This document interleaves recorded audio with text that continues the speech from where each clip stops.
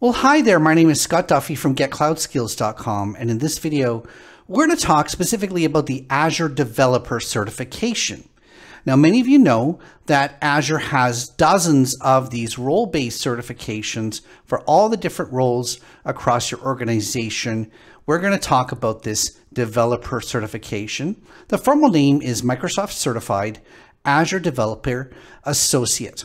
And as you can see, it's an associate level certification. That means it's not a beginner certification, but it's not also at that expert level either. It's right down the middle. Now, many developers are going to wonder why they should get certified, and we'll talk about that in this video, and I'll tell you all the details about what you need to know, what you need to study, etc. Now, Microsoft has an official page on this. If you enter AZ-204 in your favorite search engine, this should be one of the top results. It's the official landing page at Microsoft Learn for the developer certification. And this is where you're going to find out all of the details about the exam. I'll just give you the highlights here. The In order to get certified, you just need to take and pass one exam, which is the AZ-204 exam.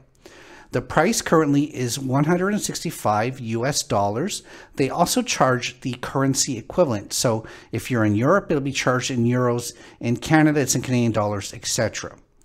Now, these exams are good for 12 months and they need to be renewed annually. But don't worry, the renewal is free. The renewal is online and generally it's going to be a lot easier than getting the initial certification. So that's an entirely separate process. And I do have a video on YouTube talking about the renewal process.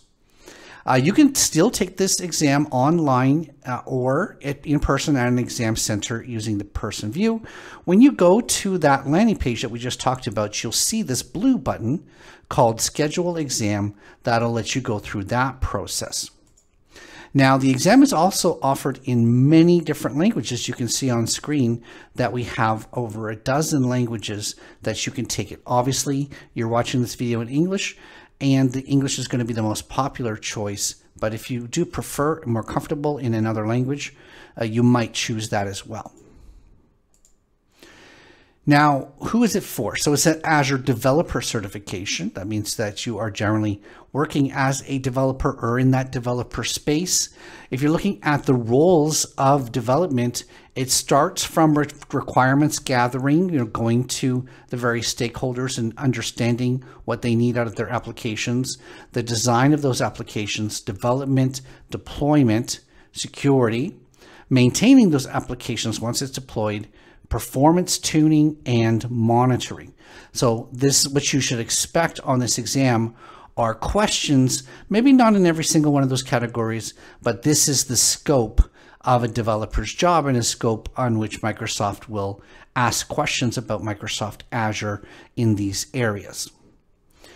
Now, Microsoft recommends two years of programming experience uh, in general. So this is, you've been uh, working as a professional programmer for a couple of years. In my personal experience, that's not necessarily required. There are plenty of students who've gotten this as well. And if you've got one year experience, it should, certainly shouldn't hold you back. Uh, what you're going to need to make up for if you don't have programming experience or directly experience with Microsoft Azure is studying and practicing. So to need to have experience with the Azure SDKs, as well as these command line tools like CLI, PowerShell, etc. So we're going to cover that in this video and go into more detail uh, in a course, for instance. Now here are the overall objectives. So there are five major objectives of this exam, and you can see these basically cover uh, a lot of what we were just talking about in terms of development, deployment, security, monitoring. So the compute solutions, we'll talk about that in a second. Uh, storage and security, those three make up the bulk of the exam, of course. We're also into monitoring and troubleshooting and optimization, which is performance tuning, which is 10 to 15%. And finally, connections between other services, Azure services, third party services, uh, still a significant chunk at 20 to 25% of the exam. So that's a good overview of what Microsoft is going to be testing. Now, I looked at the exam objectives and I pulled out all of the actual Azure services that were mentioned. And so we've got uh, Azure Container Registry, Container Instance, Container Apps. web apps, functions, Cosmos DB as the database option, not SQL database, blob storage, Entra as the security option, Key Vault, uh, Azure Cache, the CDN, Application Insights was briefly mentioned, API management, and then finally in messaging, you've got Event Grid, Event Hub, Service Bus, and Queue Storage. So those are the services. As you can see, it's quite a lot. So it is actually uh, 39 individual topics across 12 sub-objectives. We saw there were five top-level objectives, and underneath those five are a total of 12 sub-objectives that have those types of topics. So this is not the largest exam Microsoft offers for sure. Uh, something like AZ400 or even AZ104 offer uh, asks more more individual topics across a broader scope but uh, this is what the 204 exam covers. So the question then is, how would you prepare for such an exam? Uh, I showed you a list of all of the services that are going to be asked. And so what we need here is hands-on experience. So I do recommend that you get yourself an Azure account, an Azure free account, or hopefully an account associated with your company that they'll let you uh, play with some Azure services for. So first thing I would do is I would say, why don't we start, you know, if you're an experienced developer, you just haven't worked too much with Azure, I would start by developing some apps. I would develop some apps that are designed to be deployed into containers. That's going to be, um, you know, deployed into a container, published to a registry, which is the directory service for containers, deployed into container instances and or container apps. You'll notice that AKS is not on this exam, so we don't have to get into those uh, Kubernetes services, but uh, these are the Microsoft offerings. Okay, so um, I would start by developing some apps that just use containers and get to know the process of working with containers in Azure. Now we can use those same apps, I guess, to deploy them through the web services pipeline. And so that includes um, obviously web services, scaling, logging, application insights, deployment slots. You can you can really start to uh, secure these services, scale these services, and get to know this part of Azure as well. And so now we've covered are the two biggest compute options, and that's we saw 20 to 25% of the exam. There is also talking about Azure Functions on this exam. Um, personally, I wouldn't spend a lot of time creating function apps and getting too detailed with that. Create some functions and just get to know the, the types of functions you can create, the types of triggers, uh, the types of connectors with other Azure services and even um, orchestration and those types of functions where you can do some fancier things. When it comes to the backend, these apps can be extended so that they have a database component and you can actually uh, have Cosmos DB be the backend for your apps. Like we said, SQL database is not on this test. So this is a Cosmos DB test. You can also store your data as blobs in a blob storage container. Uh, that could be Flust files, images, PDFs, generating files to store them into blob storage. Um, this can also work with your functions experiments as well. So understanding blob storage and how to work with it, how to organize it, life cycle, things like that.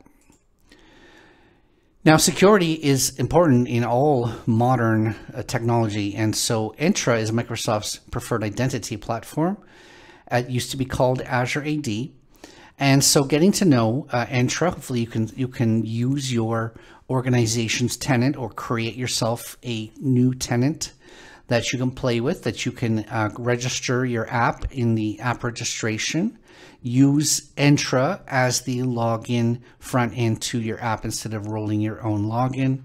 If you can do that and get that successfully working, uh, you are well under the way of fulfilling this Entra knowledge. Uh, of course, Key Vault is the secret storing solution. So if you do need to store your keys, like the um, app access keys for your storage account, you can store them in a Key Vault and then use the Key Vault APIs to access those keys from your program instead of hard coding them. And if you can do that, that would go a long way in terms of fulfilling this knowledge requirement. Of course, Key Vault also works for certificates and things like that, but I don't think that's covered a lot on the exam. That's more of an infrastructure thing. Um, the content delivery network, the Azure CDN, has changed a lot in the last couple of years. And so setting up a very simple front end to your static content like images, videos, JavaScript, CSS, set up a CDN to access that. That's a very simple change you can make. And then you would be covering basically understanding how CDN works, the benefits of it, the, the um, plans available, etc. Now, one of the biggest areas that probably um, a lot of people don't get exposed to and are going to be on the test is API management. There's a lot of questions around setting up the um, rules in terms of input rules, of output rules, things like that using, I believe it's a, um, a JSON based rule set. Um, so basically understanding API management that is that is certainly worth spending a few days on creating your very simple API that you can then put an API management front end in front of. It's basically a consolidation of front end for several APIs as well as a load balancer. It can be used to alter the input, alter the output, and rules, uh, security rules, and things like that. I do have a course on this. I should mention it would be unusual for me not to mention that I do have an AZ204 course. Link is on screen. It's just sjd.ca slash AZ204. Take you to my Udemy course on AZ204. Uh, I've got over 150,000 students, so thank you very much to everyone who's enrolled. And I welcome you to join as well. Uh, you could always get this. Using this link is going to get you the maximum discount that I can offer. And so um, use the link to go and access my AZ204 course. As well as you may not have access to either an Azure account to play with or a set of instructions uh, on a lot of these topics. So I have a set of AZ204 practice labs. Remember, labs are a set of instructions or a challenge to you to go off and do something. So it may be to go and secure this web app. And so there's a lab for that, and you can either follow along in some of the labs or just be challenged and, and uh, asked to complete the lab without a lot of instruction. That's a real world type challenge. Uh, so I do re uh, also recommend this link, sjd.ca slash AZ204 labs. Uh, this will take you to a different website in order for you to get uh, labs on this course. As you can see at the time that I published this, 55 plus labs uh, that you can practice with. It also comes with three months access um, to those labs and as well as an Azure account that you can use to specifically practice those labs. So you don't even need a account your name or your company's account to be authorized. You can use my labs. And so many students uh, do that. Anyways, that's just a general um, little 10, 15 minute video talking about the uh, Azure certi developer certification. If you have questions, leave them in the comments of this YouTube channel. Be sure to like this video and subscribe to the channel. Thank you very much for that. Anyways, if you guys have any questions or comments you want me to make a video about Microsoft Azure or certification or any other topic, leave it in a comment and I'll, I'll get into my YouTube comments and uh, take people's requests from there. So thanks a lot. This has been Scott Duffy from Get Cloud Skills, and I hope you have a, an amazing day.